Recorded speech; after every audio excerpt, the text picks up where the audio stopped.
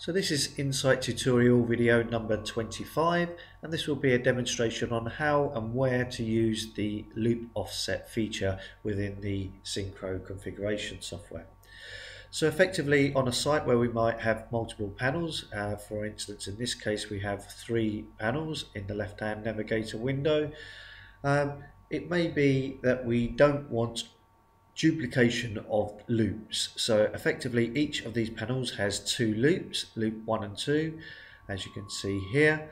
So that effectively would give us three loop 1s and three loop 2s um, and could cause some confusion. So effectively what we can do is we can set each of the panels to offset their loops. So effectively we'll have loops 1 to 6 across the whole of the three panels. So what we need to do uh, to set this up, uh, this arrangement up, is we need to select the first panel first of all. Then we select Edit. And then we simply check the offset, loop offset function. We then select the second panel, go to Edit, Loop Offset, and finally the third panel, Loop Edit, Loop Offset.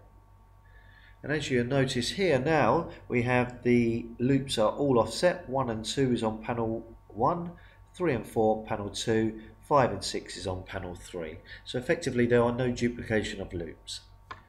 For more information relating to the Syncro Ranger panels, including more tutorial videos, don't forget to check out Incite's website at www.incitefire.com.au.